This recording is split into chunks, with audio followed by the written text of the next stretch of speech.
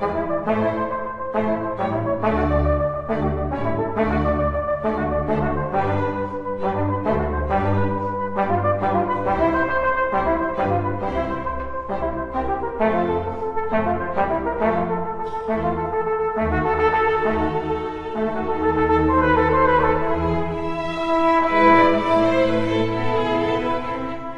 родилась в городе Ленинграде 21 сентября 1935 года.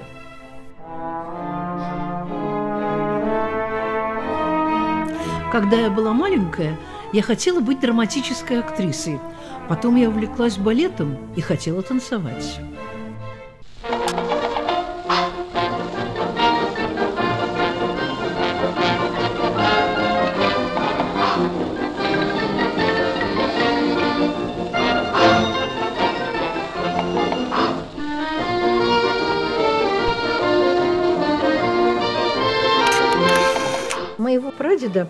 Отцовской линии нашли русские рабочие на рудниках Алаверды между Грузией и Арменией.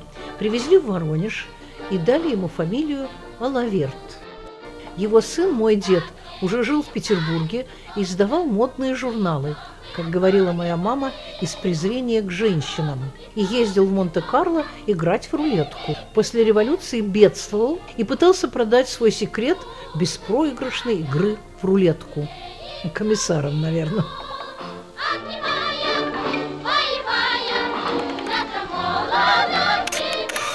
Мой дед Александр Илларионович Тодоровский был очень известным физиком-оптиком.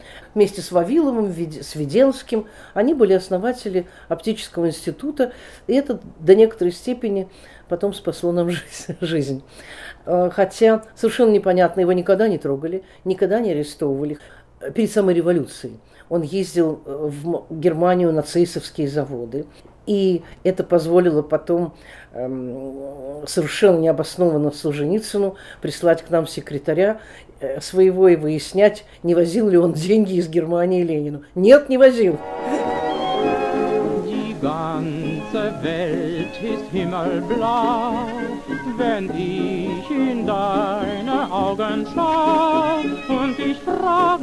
Welt Нет, ничего он такого не возил.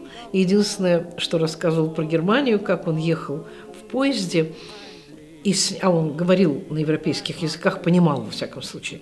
И там ехали два немца и обсуждали, какие нации на каком языке ругаются и как и говорили, абр убирали русиша мат. Это единственное, что я знаю про его поездки в Германию.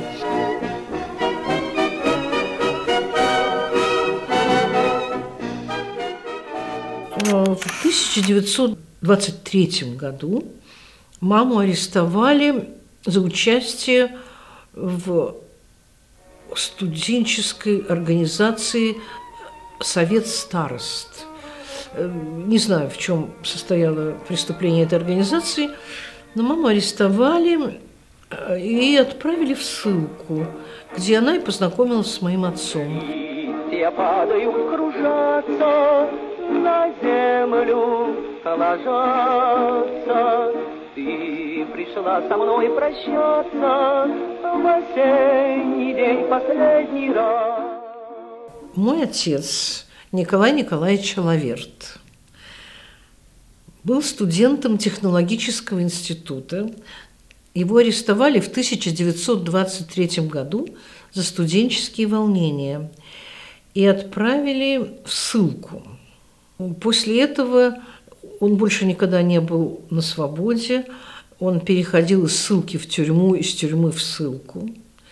Он был довольно крупным эсером, довольно видным, поэтому его судьба была более сложная, чем судьба моей матери. Он участвовал в побеге Львова. Это было такое очень известное дело, когда они помогли крупному эсеру Львову бежать из тюрьмы. И все потом, так сказать, кто помогали, все в эту тюрьму сели, причем он сел в одиночку. И как человек очень активный, деятельный, очень от этого страдал. На обороте фотографии написано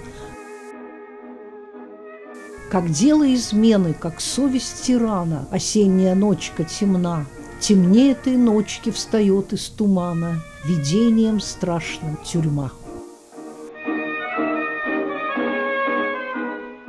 Дальше их жизнь была довольно сложная, потому что его то сажали надолго, то их вообще посылали в разные места, в ссылку.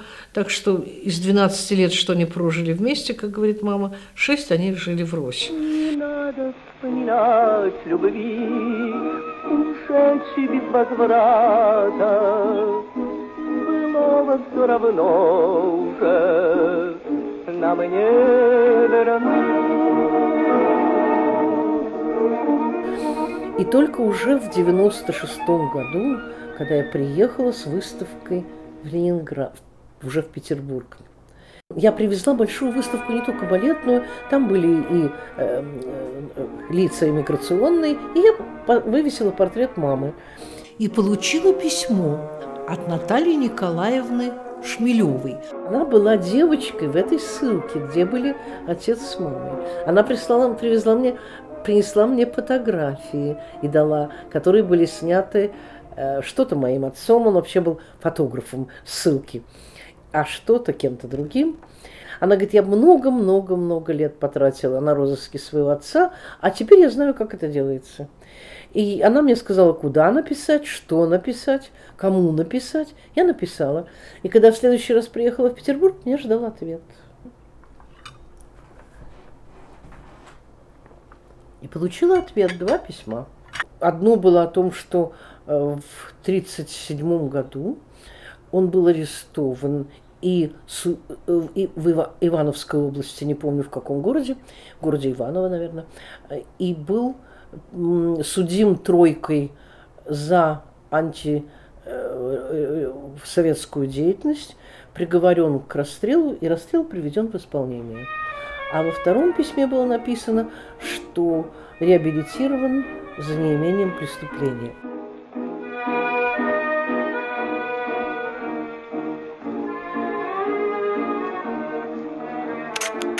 В 1935 году вдруг маму освободили в чистую. Как тогда она мне говорила потом, по странной прихоти Егоды. Освободили ее в чистую, и все вернулась в Ленинград и стала жить в семье своего деда, где я и родилась, э, на Васильевском острове. Эта фотография была сделана моим отцом, который тайно приезжал из ссылки, чтобы меня увидеть.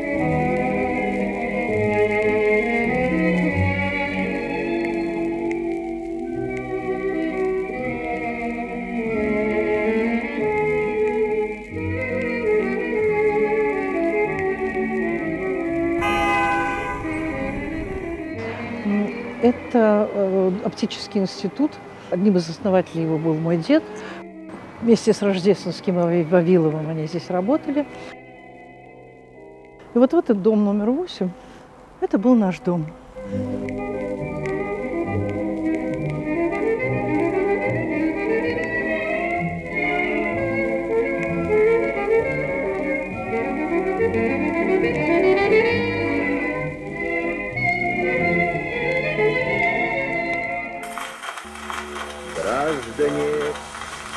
Гражданки Советского Союза. А во время войны мы попали в Ишкаралу, где э, весь оптический институт был в эвакуации. И вот там мама активно начала заниматься фольклористикой. У нее были друзья фольклористы марийские. И во время войны Сталин разрешил богослужение такие, не только христианские, вообще всем религиям вышло некоторое послабление. И эти фольклористы, мамины знакомые, ездили на съезд шаманов. И мама все спрашивала черного петуха, резали там или не резали, не помню, уже резали или нет.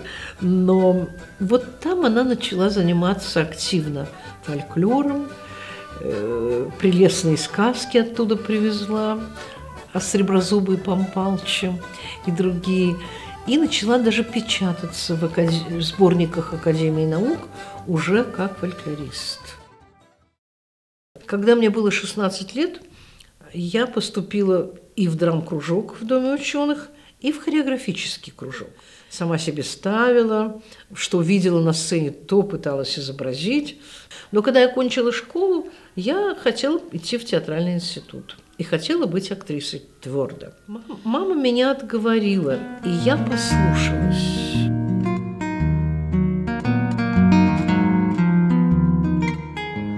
А поступила я вот сюда, на ИСТФАК, шла на кафедру средних веков, европейских, и очень довольна.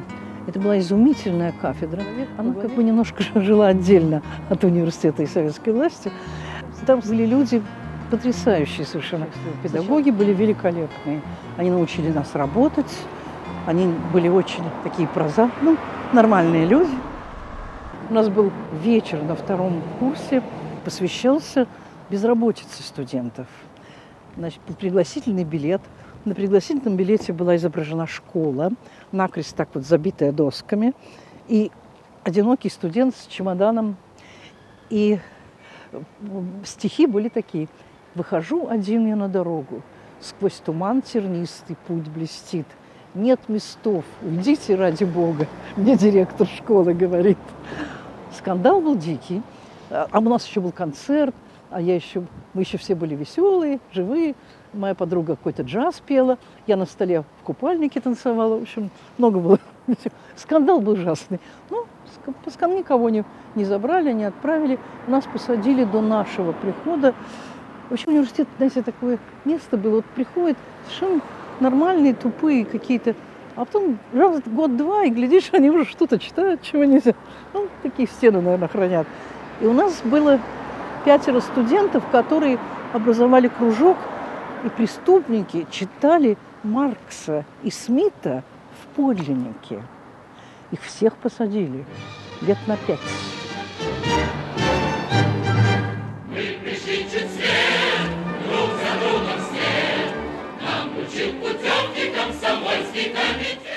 Вот это вход. Так и наш натуральный вход.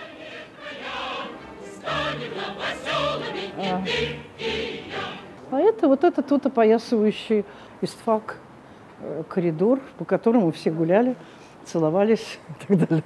Такое было э, очень удобное место. После окончания университета я работала на кафедре истории средних веков ассистентом, и там я поступила в заочную аспирантуру и даже успела написать первую главу диссертации о жизни немецкого города Любека в XIV веке. Я читала рукописи XIV века. И тогда была такая образованная, сейчас не помню ни одного слова даже на простом немецком. А тогда я читала на дудиш, то есть на старом немецком. Я своими глазами читала в рукописи, что евреи пьют кровь христианских младенцев. Я просто даже выписала от счастья. Ну, что такое?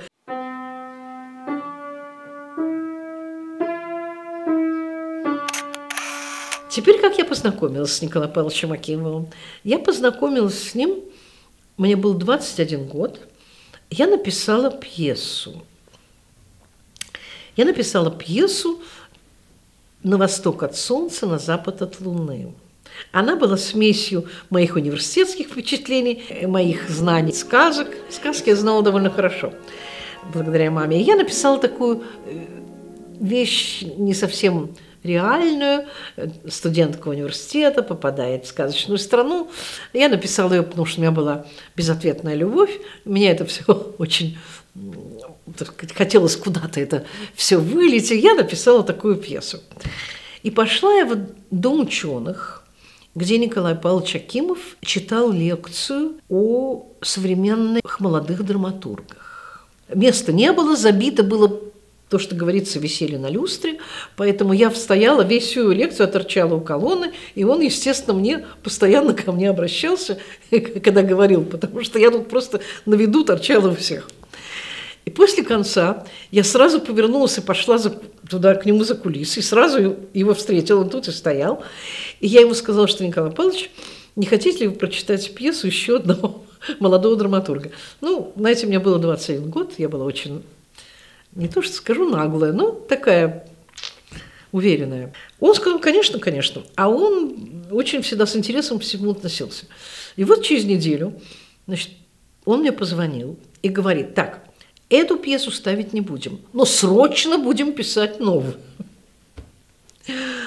В результате я написала пять пьес, из которых на две заключила договор и получила аванс. И ни одна не пошла. А, одна, а я уже не помню, которая, он сказал, что знаете, у меня тема похожая идет. Давайте, вот следующая, она интереснее. А следующую запретил обком, горком, черт его знает, какой-то какой там вышестоящие инстанции какие-то. Хотя ничего там на самом деле особенного не было. Но я попала в такое нехорошее время, когда Хрущев объявил, что у нас нет проблемы отцов и детей. А пьеса была приблизительно об этом – Николай Павлович два года пытался изо всех сил э, эту, пробить эту стенку, а, а, демонстративно водил меня с собой на всякие э, встречи свои, вообще всячески подчеркивал свое ко мне уважение, но ничего из этого все равно не вышло. А когда я написала последнюю пьесу «Круг, «Рыцари круглого стола», он сказал, «Нина, я даже и пытаться не буду». Потом позднее у меня была такая идея, я буду читать, буду такой театр одного актера. И я Николаю Павловичу Акимову уже позднее стала ему морочить голову, стала его убеждать. Он меня очень серьезно выслушал и говорит, хорошо, вот я соберу худсовет, вы выйдете на сцену в театре комедии и почитайте. Я представила себе эту картину. В зале сидит Колесов, Юнгер, Зарубина. А я выхожу на сцену и читаю.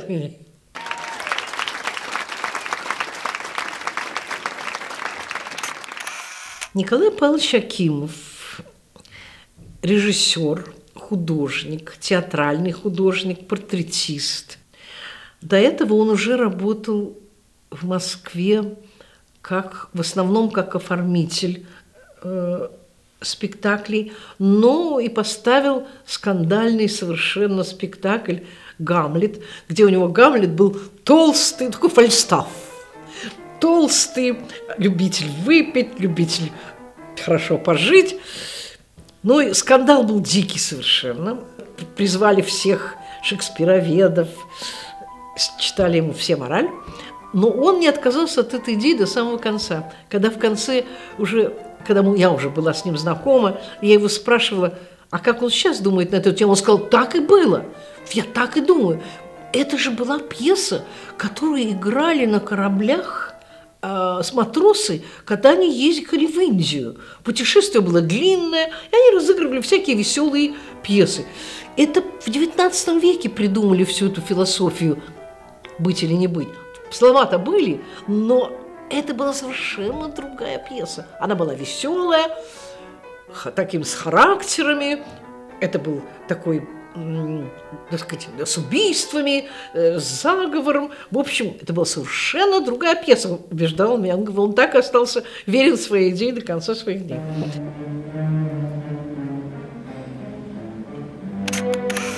В 1939 году в доме бывшего Елисеевского магазина на углу, на Нев, Невского и Малой Садовой. Ему выделили этот театр, из которого он сделал театр комедии. Это был уникальный театр Ленинграда. Сейчас об нем, к сожалению, очень редко вспоминают, а это был театр, в котором не шла ни одна советская комедия официозная. Николай Павлович до конца своих дней был горд, что стрепуху Сафронова он не поставил.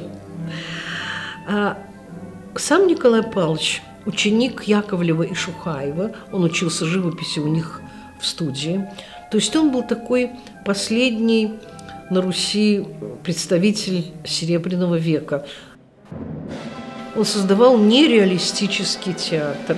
Не мог себе позволить уж совсем театральных условностей, как бы ему хотелось, потому что он все время был под бдительным надзором управления культуры, обкома, горкома, не знаю кого этих, в общем, незамужних ткачих, которые приходили к нему на прогоны и учили его, как надо ставить спектакль. Он рисовал все афиши к своим спектаклям. Это было отдельное событие нашего города Ленинграда, когда их вывешивали, потому что это было совершенно уникально. Таких афиш никогда никто не рисовал и больше не рисует. И на его спектакле стремилась вся интеллигенция Ленинграда. И не только, конечно, интеллигенция. А вот этот дракон, он его поставил при мне второй раз. В то время вообще наши писатели очень часто прибегали к языковому языку. Я бы сказала, что вот вся эта ситуация в России, она стимулировала этот невероятный, развитый изопов язык. Евгений Шварц очень яркий такой представитель этого направления, потому что все его сказки, которые он, пьесы по сказкам, которые он писал, они, в общем, были о нас, о нашем времени, о философии, о, о морали, которую стремилась разрушить советская власть. Э, особенно ярким был такой спектакль, как «Дракон». «Дракон» был во всех отношениях, конечно, антисоветской пьесой и антисоветским спектаклем, естественно. Его сняли за то, что там увидели в «Драконе» намек на Сталина. Когда дракона убивали, эти головы умирающего дракона говорили страшный текст, который потом цитировали многие. «Я умираю, но я оставляю тебе мертвые души, прожженные души». В общем, следовал ряд жутких эпитетов. Увы, он был провидцем. А во втором спектакле бургомистр становился драконом. А это было время Хрущева. В конце Ланселот, герой, э, положительный герой пьесы, говорил, жалейте, жалейте друг друга. Это можно жалеть вдов и сирот. Это самая главная истина. Ну, куда это годилось? Это никуда советские власти не подходило. Естественно, сняли и последний спектакль, который было известно, что это последний спектакль, очередь стояла за билетами в надежде, что что-то кто-то откажется. Что... И в конце этой очереди стоял какой-то моряк, который кричал «Пропустите меня! Я прилетел из Мурманска! Я хочу увидеть этот спектакль!» Николай Павлович на поклоны не вышел. И вообще это была такая боль его души. Я однажды принесла ему показать, я снимала фотографии. Он сказал, нет, нет, дракона смотреть не буду, не буду. Такая была боль. Это был центральный вход в зал. Здесь слева, за занавеской, портьерой такой, было три кресла служебные. Сидел Николай Павлович Акимов, либо лежит Помреш, либо кто-то из актеров рядом. И на третьем сидела я – и снимала спектакли. Я не беспокоилась, мешаю, а кем не мешаю. Но явно не мешала, чтобы ничего не говорил. И так я сняла почти все спектакли, которые шли в мое время. К сожалению, э, пленки я не могла взять с собой, потому что в то время нам не разрешали. Считалось, что это принадлежит народу. Народ это не сохранил. что э, театр абсолютно безразлично отнесся к этому всему. И все это погибло. Но кое-что я все-таки, кое-какие пленки вывезла, и потом фотографии остались, которые я смогла сканировать. Что-то у меня осталось. Вот это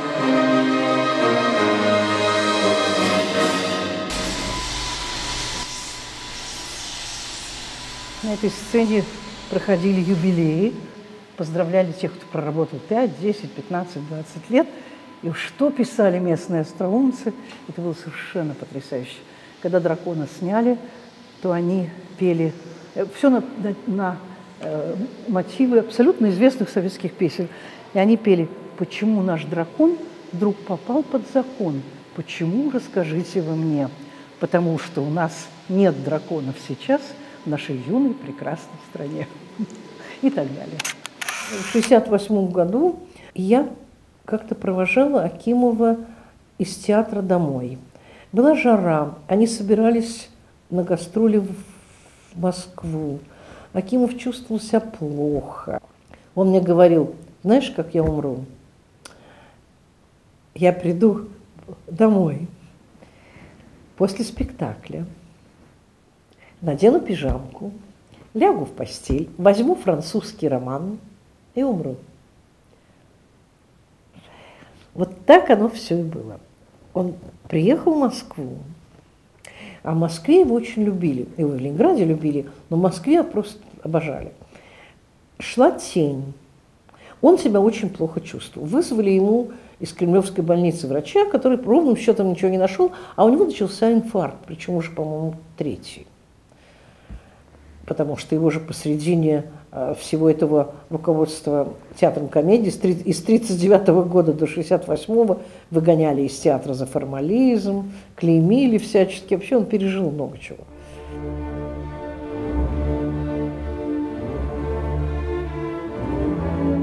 Спектакль кончился – Вышел студент университета, поклонился ему до земли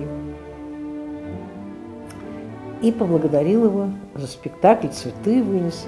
Он вернулся в гостиницу. Утром его не могли добудиться, взломали дверь.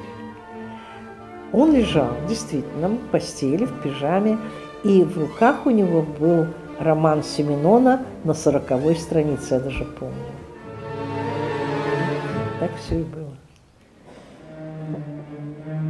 Со смертью Николая Павловича закончилось и явление театр комедии Акимова.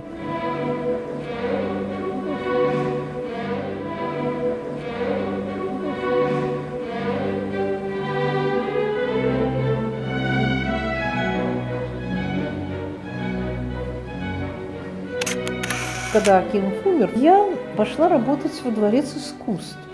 Что я там делала, совершенно не понимала. Это я была вроде, ну, как устраивала вечера. Все театры Ленинграда ходили во Дворец искусств. И там постоянно кто-то был, кто-то приходил к нам в комнату, жаловался на начальство, на режиссера, на завистников, ну что-то такое. Ну и приезжали московские театры. И вот там, например, я познакомилась с Юрским. Это был капустник, который ставил Александр Белинский. Э, и мы сидели ночью на репетиции. Ну, я посидела, посидела и пошла домой. Было три часа ночи. Роскошная лестница э, мраморная. Я по ней спускаюсь вниз и поднимаю голову, а наверху на площадке стоит Юрский и Белинский. И Юрский его спрашивает, кто это такая? И Белинский азартно начинает рассказывать. Я думаю, боже. Не знаю, что он говорил, но это никому не помешало. И мы с ним потом стали друзьями, и с тем, и с другим. Так что такое у меня воспоминание именно об, этой, об этом вот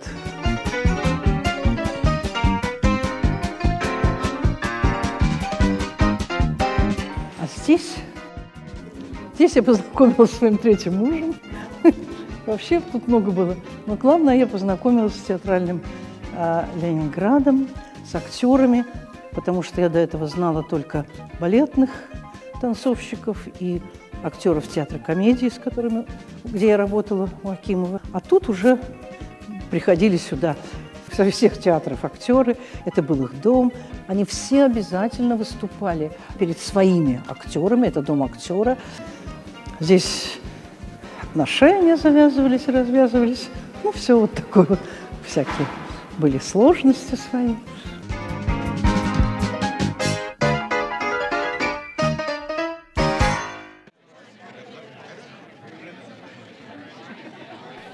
Вот это замечательный зал. У меня есть такая фотография, на которой сидят вообще подряд все главные актеры режиссеры Акимов, Товстоногов и все их первые актеры здесь. На сцене были вот эти капустники, о которых я рассказывала, которые играли тоже все знаменитости. Белинский был очень остроумный, ироничный, немножко злой, но это все придавало пикантность его текстам. И тексты, наверное, не литовались, то есть они не проходили цензуру, поэтому это было довольно интересно все. Ну и он, зная прекрасно э, все, все закулисные истории и всю ситуацию в искусстве в театральном, он это все использовал. Э, например, был в это время, по-моему, съезд писателей – и у Вениаминов был изумительный комедийный актер в театре комедии. Он играл тоже одного из писателей, значит, стояла будка, он звонил и кричал «Мама, не плачьте, мама!» А там были всякие, кому-то что-то дали, какую-то премию, кому-то не давали. На сцене я впервые слышала концерт Акуджавы, а тут в зале просто ну, висели вот на этих вот занавесках буквально столько было народу. Есть такое поверье, что все, кто приходит сюда и отражаются в зеркалах, которых очень много в этом дворце, их отражение здесь как бы остается присутствовать э, навсегда.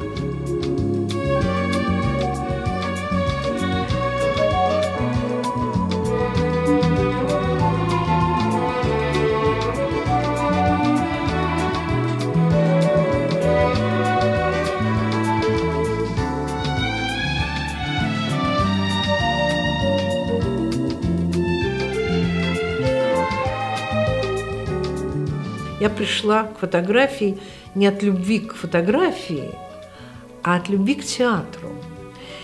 Мне очень хотелось иметь фотографии актеров, которых я любила. Я была влюблена очень в одного танцовщика. Премьера.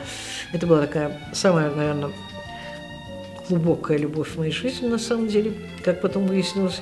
Но мне хотелось иметь его фотографии.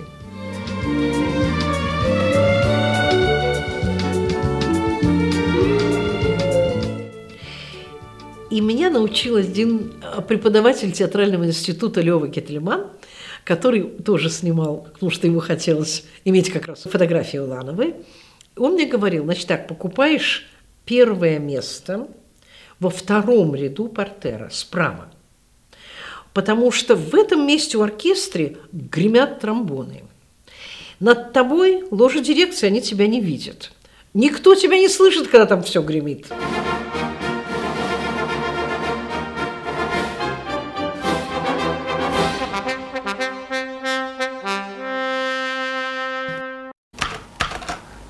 Все вы потерянное поколение. Мы с Юрским познакомились ближе на съемках «Фиесты». Я к этому времени уже была дружна э, с Михаилом Барышниковым, которого Юрский пригласил играть э, Матадора. Как я его боялась сначала. И не потому, что он великий Юрский, а уж я была так им восхищена, что я просто боялась его просто от восхищения. И Юрский говорит, о, когда к нам звезды балета пришли, какие фотографы к нам пришли на съемку. И так с этого времени мы с ним подружились и дружим до сих пор. Юрский для меня уникален как актер тем, что он, во-первых, абсолютно органично талантлив, и, во-вторых, что он абсолютно ни на кого не похож. Вот я не могу найти среди русских актеров кого-нибудь, кто бы сказал, о, ну да, вот он на Юрского похож. Не было. Не было, нет и не может быть. Это такое э, удивительное сочетание интеллекта, ума и высочайшего таланта. Софья, неужели молчален избран ей? А чем мне муж? Ума в нем только мало. Но чтоб иметь детей, кому ума не доставало? Одна из первых лучших ролей был Чацкий. Он тогда меня потряс совершенно.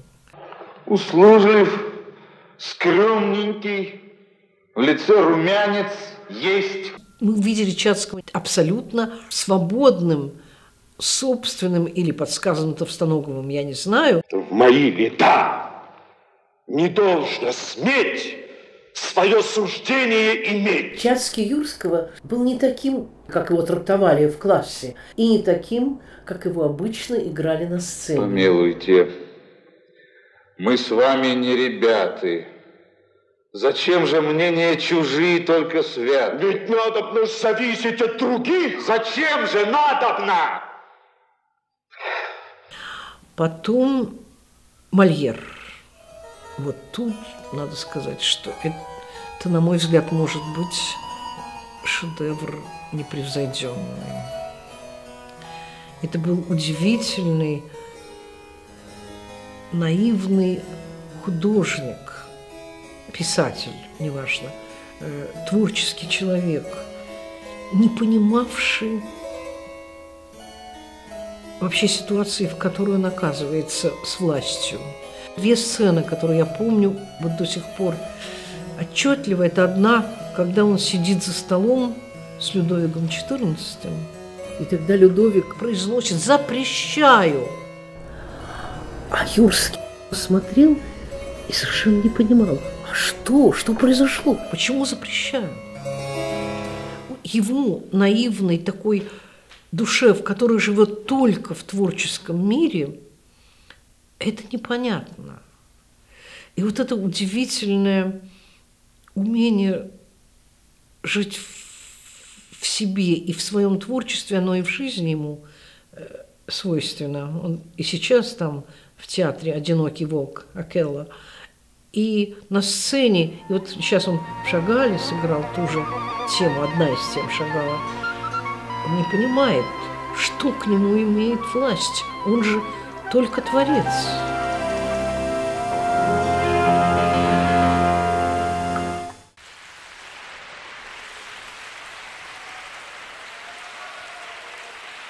Я познакомилась с Барышниковым, наверное, тоже во Дворце искусств. Я его увидела первый раз на сцене – когда он кончал хореографическое училище. Мой очень близкий, дорогой друг, покойный, к сожалению, а, Сашенька Минц, танцовщик э, театра, пригласил меня, попросил меня снять его друга, который кончал в это время тоже училище, и купил мне билет в первом ряду портера. И я сидела и там снимала, и его другу снимала, конечно, и вдруг объявляют, Михаил, там, Падеда из Дон Кихота, э, Курбатова, по-моему, с Курбатовой танцевал, и Михаил Барышникова. Я, в общем, аппарат положила на колени и думаю, боже, как мне эти дети надоели, которые танцуют Дон Кихота, ничего не понимают, не умеют, не буду. И вдруг вылетает мальчик.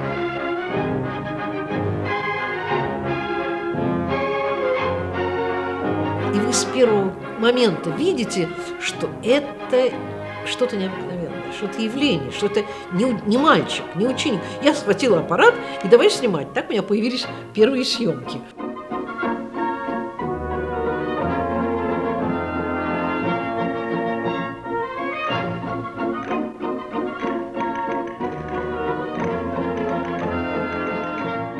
Ему дали комнату в коммунальной квартире на соседней со мной улице. Я жила на Ижорской, а он на Колпинской.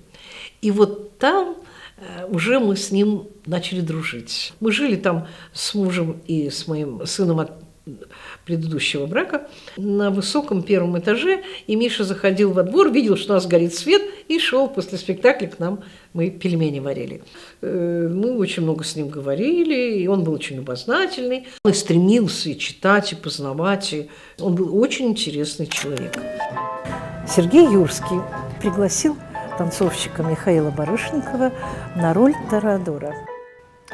И а Барышников, который, в общем, очень так немножко, не то что боялся, но стеснялся. Все такие актеры, он был мальчик, еще молоденький, ему там, 20-21 год был. Вы идете на бой быков? Вы говорите по-английски? Нет. Через 20 минут начнется бой. Сколько ему лет? 19. Желаю удачи. А тут такие все, Тинякова, Стрижельчик, Юрский снимает. Знакомьтесь, это Педро Ромеро.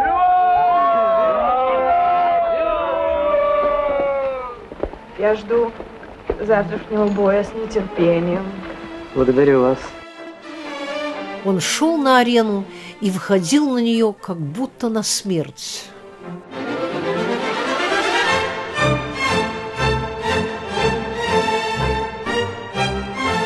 И это так чувствовалось.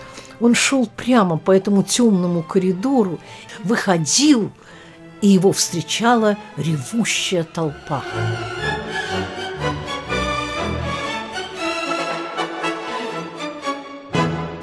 И как принц, ставший королем, он снимал шляпу, приветствуя толпу совершенно королевским жестом.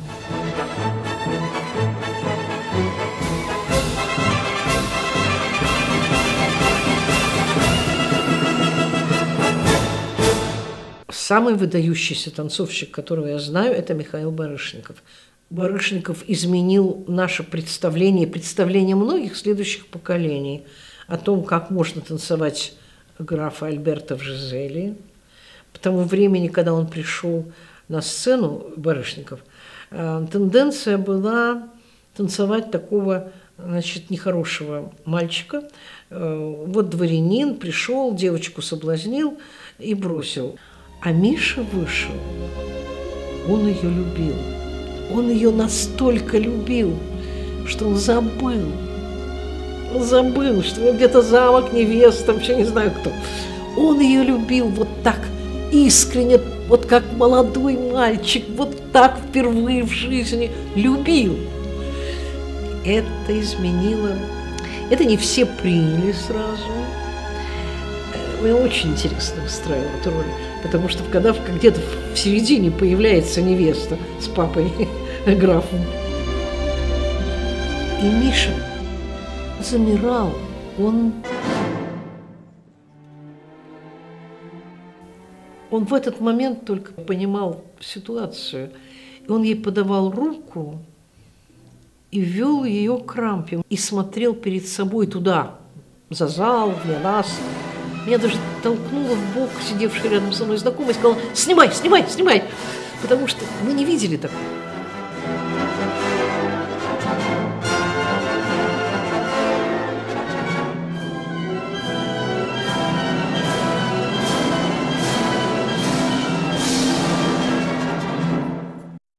И во втором акте он приходил к ней к Жизели, мертвой Жизели на могилу, в страшных страданиях, и не только в раскаянии, а в страданиях.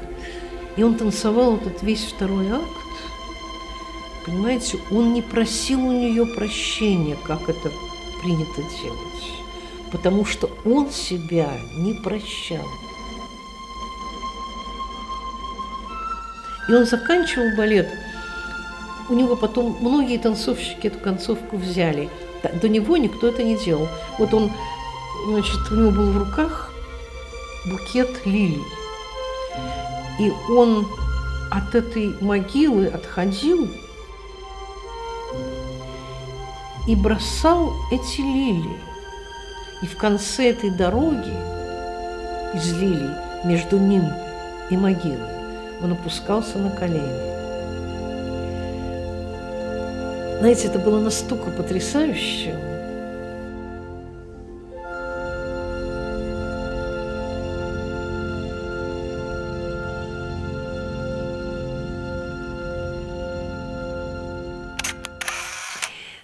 Много позднее, много позднее, в Америке, уже когда Барышников не танцевал классический балет, он танцевал такой номер о воспоминания старого актера, который вспоминает, он с палочкой уже ходит, он вообще... И там был такой момент, он садился в, инвалид... в это кресло э, на колесиках и отъезжал из одного угла сцены в угол и бросал эти тоже, мы были букет этих лилий. И это то, что помнил он. Это, вы знаете, я плакала, сидя в зале, и я была одна потому что никто не понимал этой связи с тем первым спектаклем, когда он это станцевал, когда он это открыл вот этот, когда он танцевал, это до сих пор просто забыть нельзя.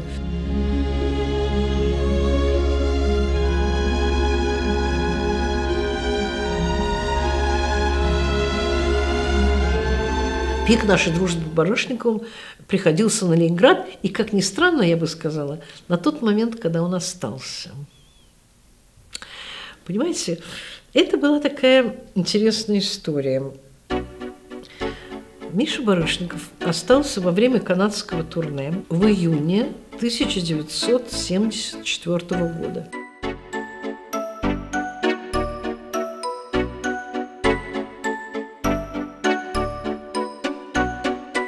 Надо кому-то позвонить. В 6 часов я сняла трубку.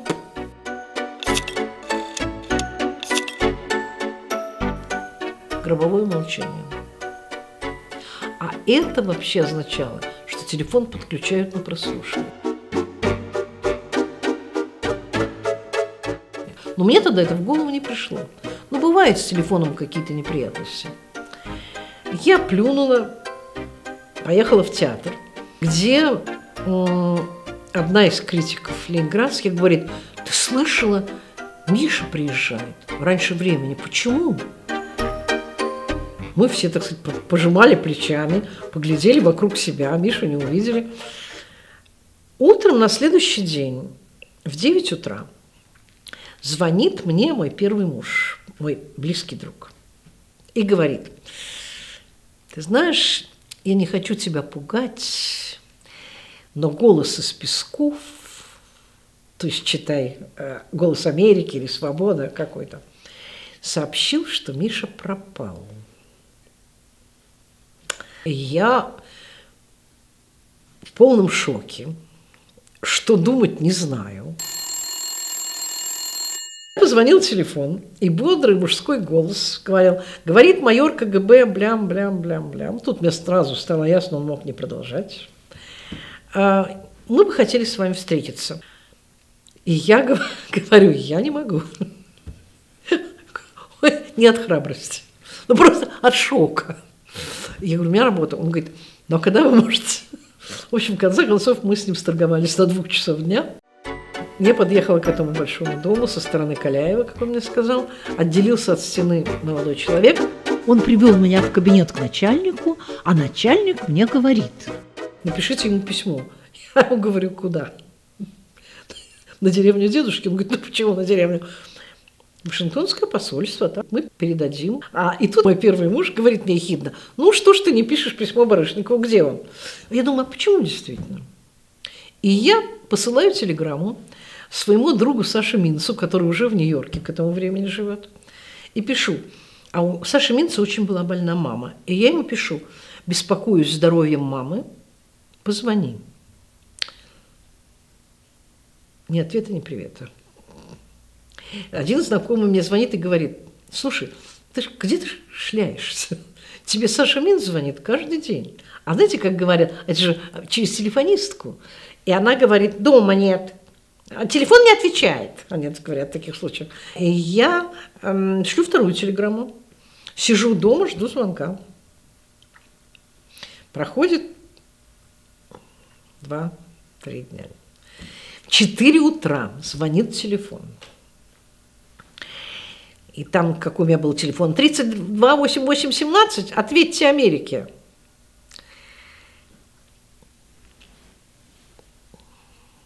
Семьдесят четвертый год, Советский Союз. Ответьте Америке. И вот, значит, я долго ходила по, по знаете, хожу босиком в коридоре. Вот так это и было. Я ходила с этой трубкой. Переговаривались все страны мира там в эту трубку. И вдруг она мне говорит, говорите. И Саша Минц осторожно так говорит мне, у тебя все в порядке? Они что же не знают, что у нас? И я говорю ему, ты с Мишей общаешься? Говорю я полным текстом. Он говорит, да. Я говорю, пожалуйста, передай Мише, что мы его любим, что мы его, так сказать, не предали, что он замечательный, что он необыкновенный. В общем, говорю специально на прослушивающих целую панигирик Миши. Пауза. И Саша мне говорит, ну подожди минутку. И берет трубку Миша.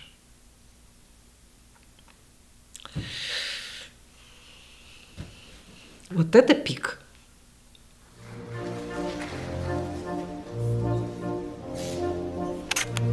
Я знакома с Григоровичем.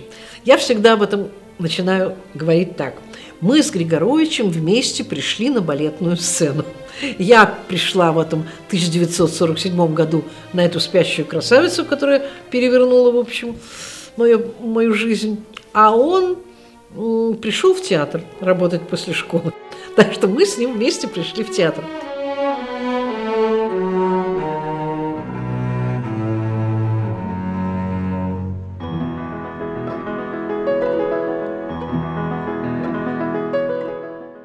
И он поставил свой первый балет в 1957 году. Это был «Каменный цветок».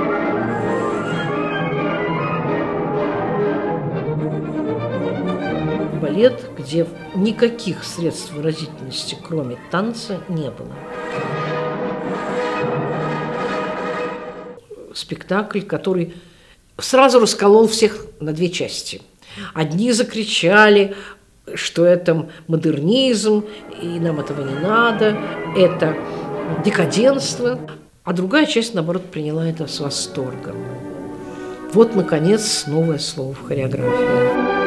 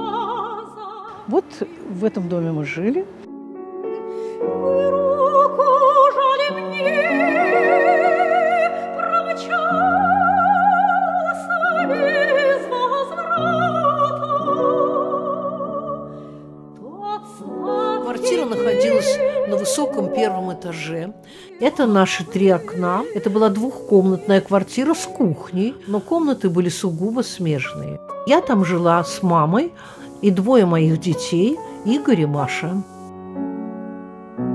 Здесь была куча мусора, ничего этого, конечно, здесь не было, машин вообще не было даже в помине никаких ни у кого. И после того, как Барышников остался, и я связалась с ним и разрешила ему звонить, то тут ставили иногда после этих звонков мурло такую, которая старая, небритая. Ничего не пугали просто. А вообще, когда я поздно возвращалась, то вот я по этой, тру... вот по этой трубе, которая теперь не доходит донизу, стучала, и мама никогда не спала, потому что мы все-таки боялись. И перед нашим отъездом, знаете, так символически, вдруг снизу стали прогрызаться крысы. Это было так страшно, просто ужас. И я вызывала, конечно, санинспекцию. Пришла такая дамочка в кошелочке вместе с пирожными у нее лежал яд. И она это рассыпала, ну, и не пересказать. А в 1977 году мы уехали.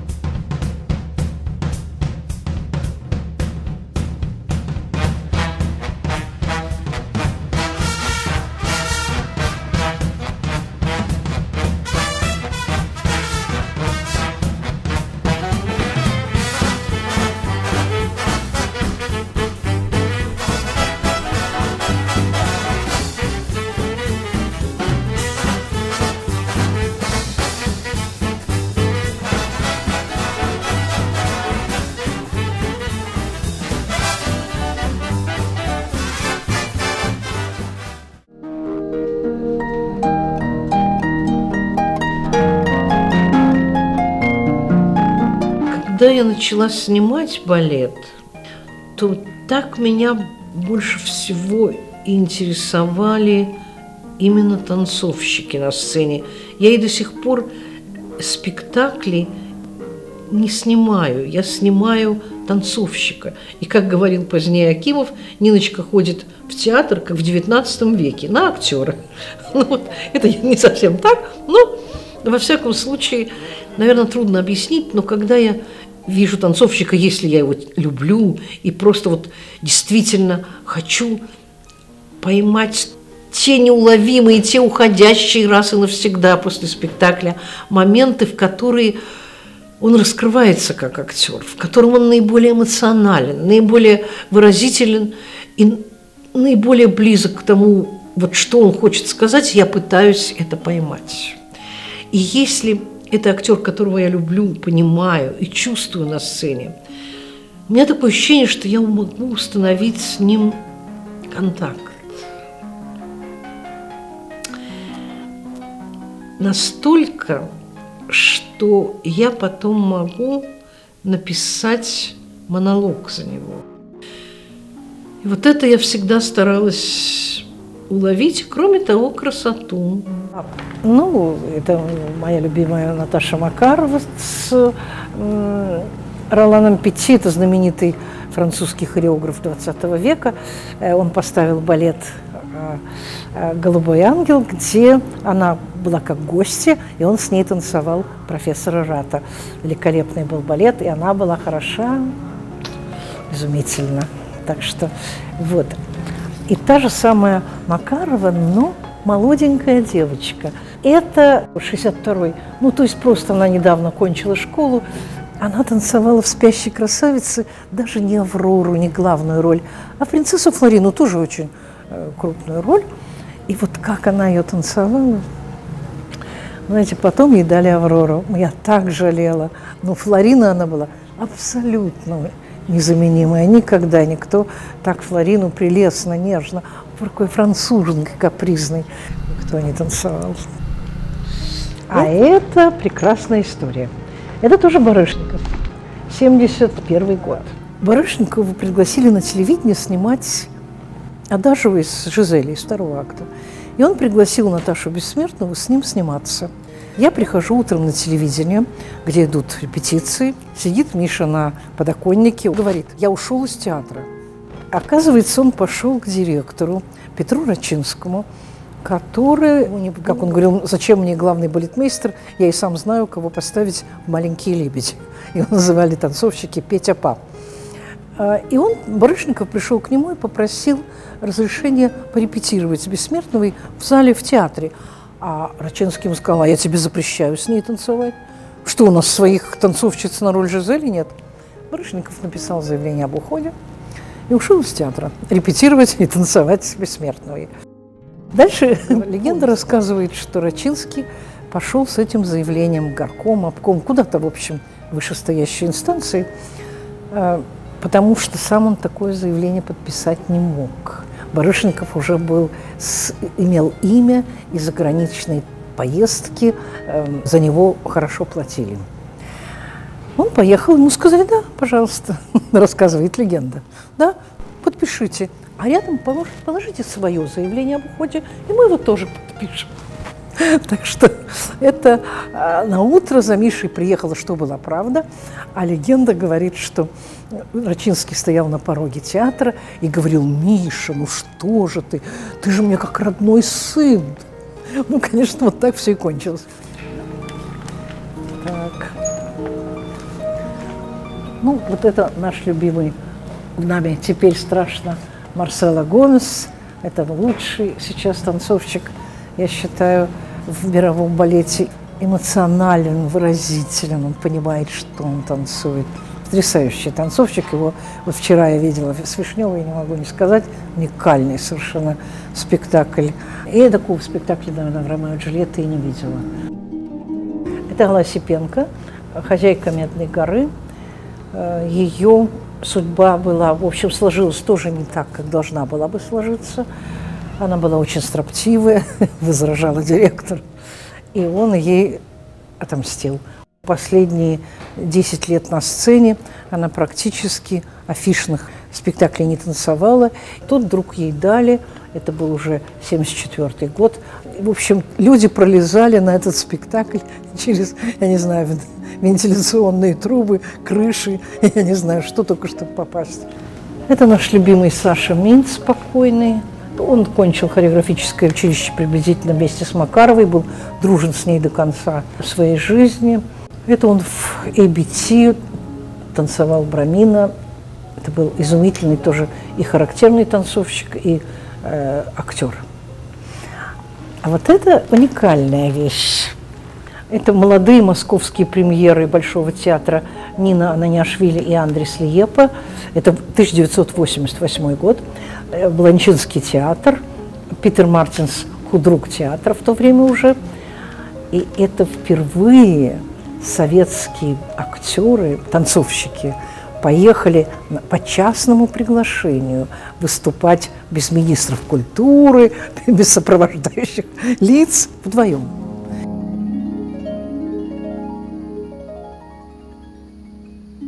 Ну, это опять же Миша, ну, это в Ленинграде, в «Блудном сыне». А это был такой вечер, он себе э, сделал творческий вечер, очень необычный. И разрешили ему, потому что театр был в простое, не премьера, вообще ничего интересного. И ему разрешили сделать творческий вечер, как он хочет. И он сделал его из современных балетов. Он сделал три балета отдельных. Ему поставили Маймурдма из э, Таллина и э, Георгий Алексидзе, молодой хореограф. И они ему поставили современные балеты. И он танцевал вот что хотел, э, хотя, в общем, директор был не очень доволен, но пришлось уступить, уже Миша был в славе.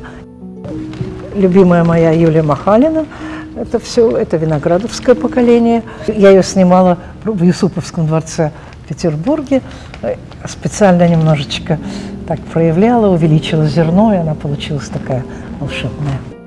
Это Юрий Николаевич Григорович, и Роберт Джоффри – фигура для американского балета, конечно, очень уникальная. Но главное, что он создал театр, где он собрал ну, лучшие современные балеты 20 века. Это был просто балетный Эрмитаж. Это молодые танцовщики Большого театра. Это Вчеренко и Копцова, балет Ромео Джульетта Григоровича. А вот это мой любимый танцовщик, тоже уникальный танцовщик 20 века – это Володя Малахов,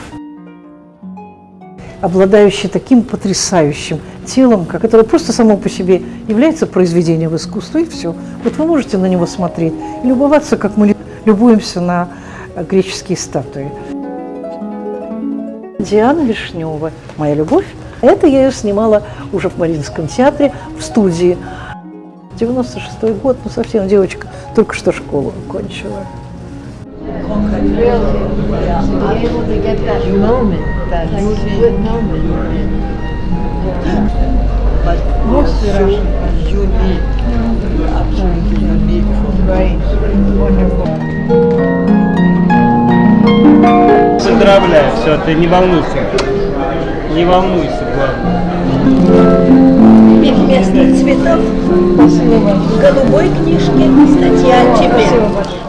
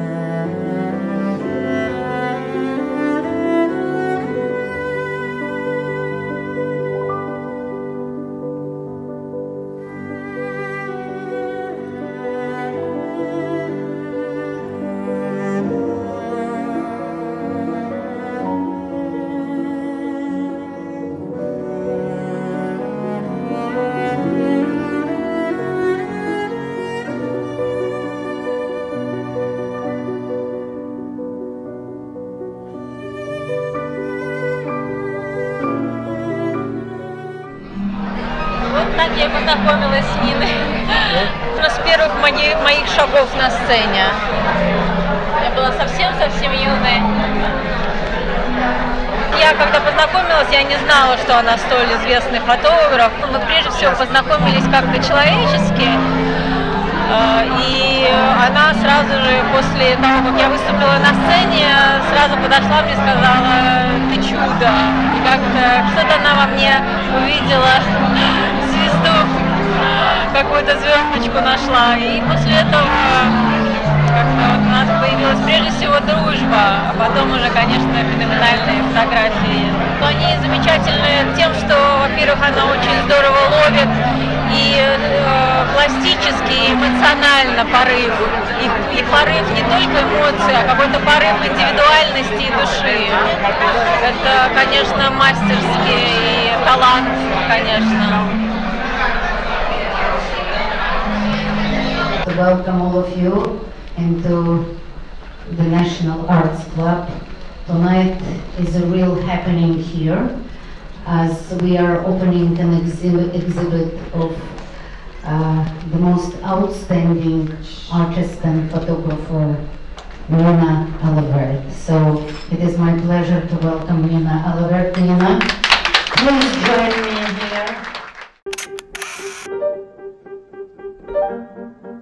В Америке я работаю балетным фотографом и критиком с русской и американской прессой. С начала перестройки я начала сотрудничать и с Россией. Там вышло несколько моих книг и альбомов. А когда в 1985 году крупное нью-йоркское издательство выпустило мою первую книгу «Барышников и Раша», Довлатов очень веселился и всем знакомым звонил и говорил, а вы знаете, Алавер тут книгу будут издавать, 10 тысяч аванс. И он говорит, да, что врет, ну какие 10 тысяч, какая Алавер. Ну, Барышников уговорил. Такая возможность, как у меня открылась здесь, по тому или по другому поводу. Так ли сложилась судьба? Так ли я повела себя? Так ли или мне встретились люди, которые мне помогли? Так или иначе так как сложилась моя судьба здесь, я не думаю, она слож... что она сложилась бы в России.